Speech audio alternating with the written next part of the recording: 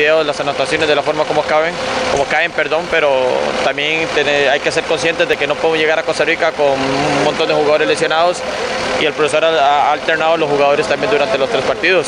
Eh, veníamos buscando obviamente la clasificación y el partido de hoy se, nos fue, ¿verdad? ¿Y la mayoría de los goles que les han hecho prácticamente que han sido iguales? Sí, son, tal vez son muy, muy marcados de la forma como se dieron.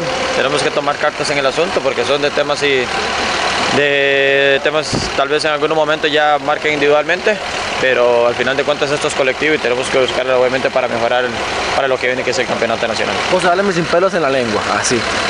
¿Cómo vio los